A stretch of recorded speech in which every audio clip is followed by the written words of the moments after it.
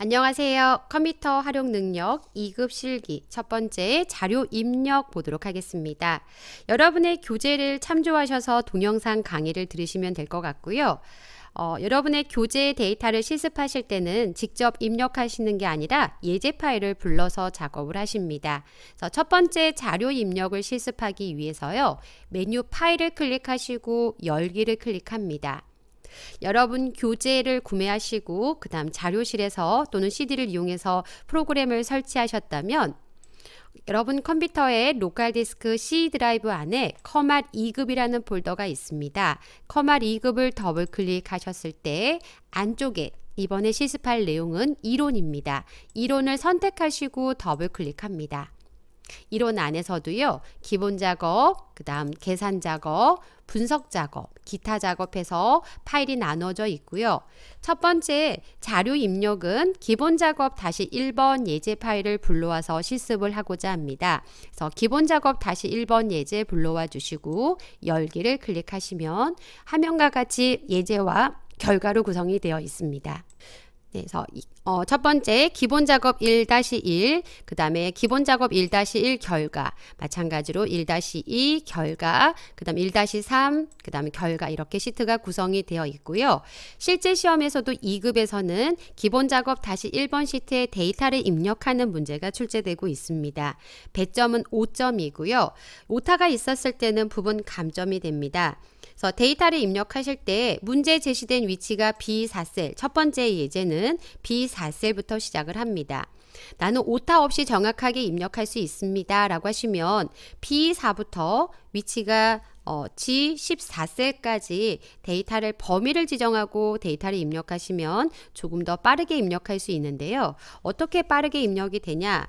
지역이라고 입력하시고 엔터 그다음 쭉 데이터를 입력을 하셨습니다. 그래서 B14까지 왔을 때 보통은 마우스로 이동하거나 방향키로 이동해서 C4셀을 이동하셔야 하는데 엔터만 누르시면 C4셀 이동이 되실 거고요. 엔터로 쭉 데이터 입력하시고 다음 열로 이동하실 때 엔터로만 데이터를 이동할 수 있어서 좀 더 빠르게 입력하실 수 있습니다. 반대로 거꾸로 이동하실 때는요. Shift 엔터 누르시면 위로 네, 반대로 이동하실 수가 있습니다. 물론 어, 이거 너무 신경 쓰기 번거로운데요. 그럼 커서 갖다 놓으시고 데이터 입력하시고 쭉 예, 입력하신 다음에 다음 C4셀 클릭하시고 관리 코드 이런 식으로 입력을 하셔도 되겠습니다. 그래서 가능한 오타 없이 입력하시면 될 것 같고요. 그래서 기본 작업 1-1에서는 음, 데이터 입력하는 거에 뭐 날짜 입력하시는 정도 뭐 계장일 한번 써본 입력을 해볼까요? 날짜 입력하시는 거 연도 빼기 그 다음에 월 빼기 그 다음 일 순으로 데이터를 입력하시면 될 것 같습니다. 다음 기본 작업 1-2번 예제도 어, 수강 코드부터 수강비까지 데이터 입력하시는 내용이었고요. 그 다음 1-3번 문제도 구분부터 주문량 입력하시는 내용이고요. 1-4 마찬가지 데이터 입력하시면 될 것 같고 1-5 결과 예, 어, 내용도 교재를 참조하셔서 입력하시면 될 것 같습니다. 참고로 어, 현재 교재에선 나와 있지 않지만 혹시나 해서요 0으로 시작하는 숫자를 입력하라라는 문제가 있다면 작은 따옴표를 먼저 입력하시고 0001 뭐 이렇게 해서 0으로 시작하는 숫자를 입력하시면 되세요.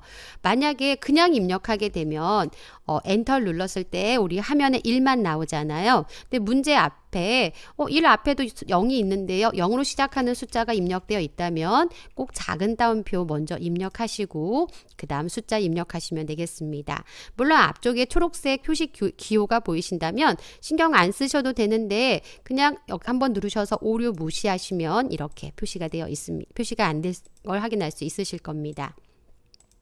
그래서 실제 시험에 나온 적이 어, 과거에 한 번 있었는데요. 그래서 저희 교재에서는 이번에 빠졌습니다. 근데 여러분이 실습하시면서 참고로 알아두시면 도움이 될 것 같아서 작은 다음표 입력하시고 영어로 시작하는 숫자 입력 어, 설명을 좀 드려봤습니다. 그래서 자료 입력은 음, 꼭 첫 번째 시험장에서 하셔야 되는 건 아닙니다. 내가 타자가 느리다 하시면 마지막에 작업을 하셔도 되고요. 난 타자가 빠르다라고 하시면 기본 작업 다시 1번을 먼저 해놓으시고 하시고 그다음에 기본 작업 다시 2번 문제로 가시면 될 것 같습니다. 자료 입력 살펴보셨습니다.